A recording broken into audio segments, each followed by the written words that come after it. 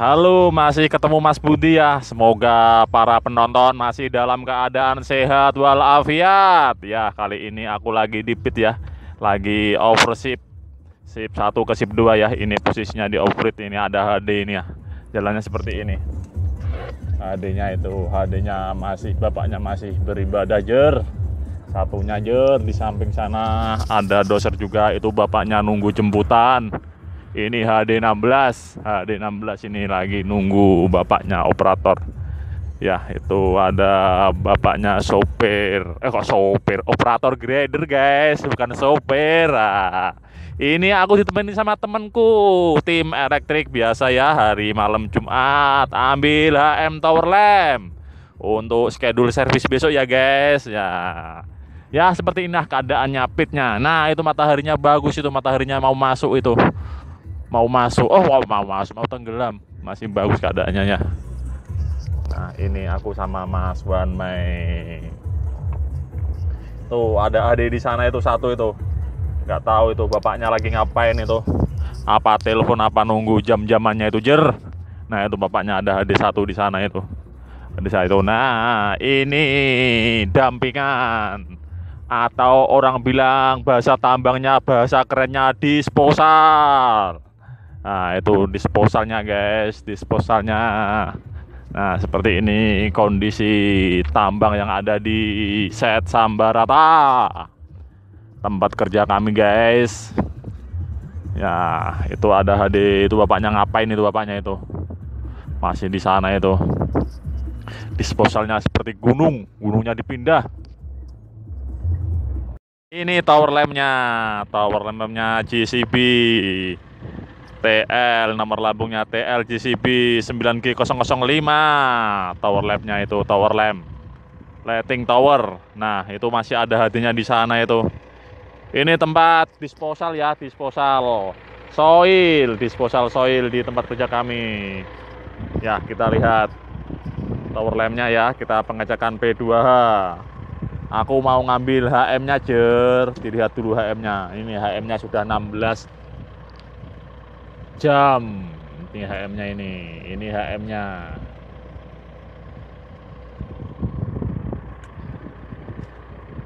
ya seperti ini. Ya ini aku lihat doserku yang baru. Doser yang baru ya.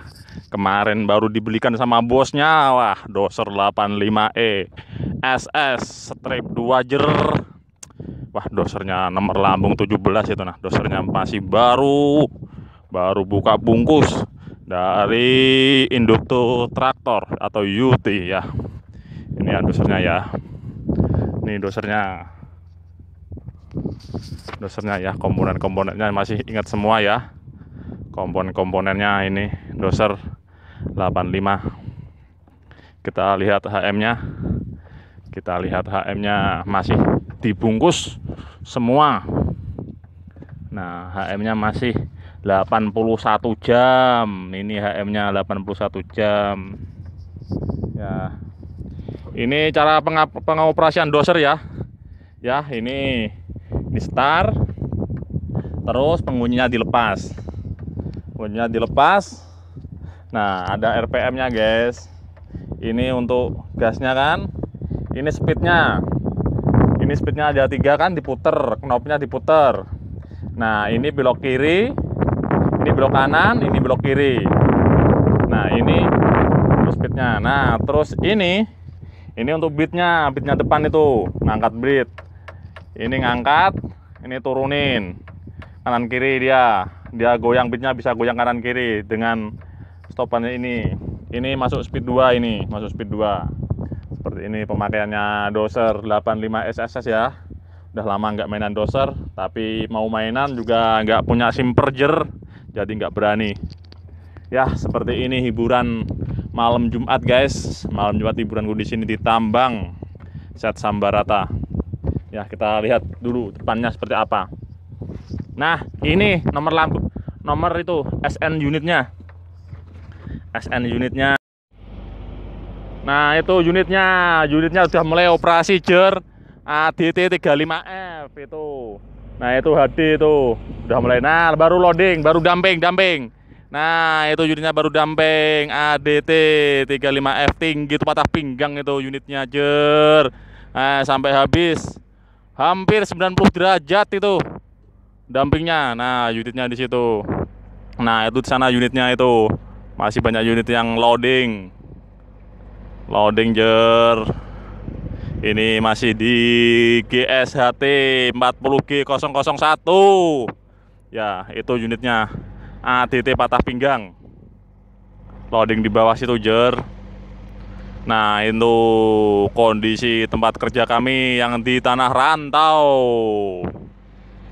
nah HD 465 dilayani sama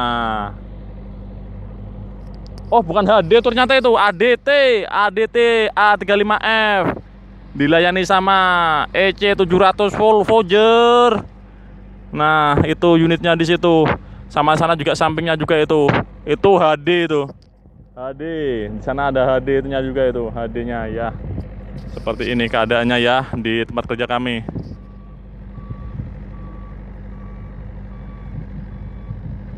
Nah, itu. Kerak 440 ya, baru loading batu bara.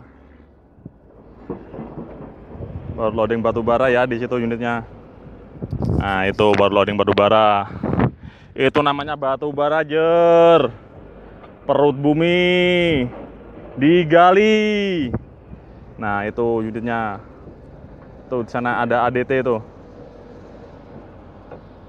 ADT loading A35F Produk dari Volvo Nah itu sana juga mau damping lagi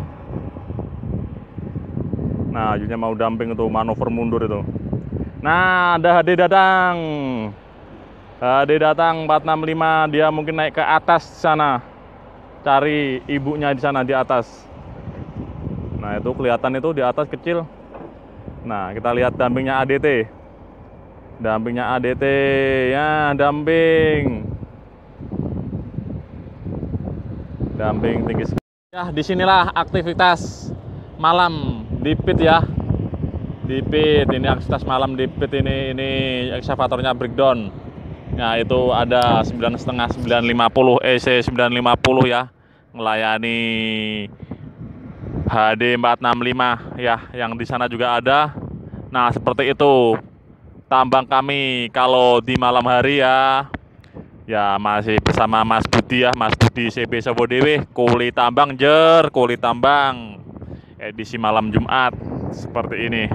Nah, seperti ini aktivitas kami ya.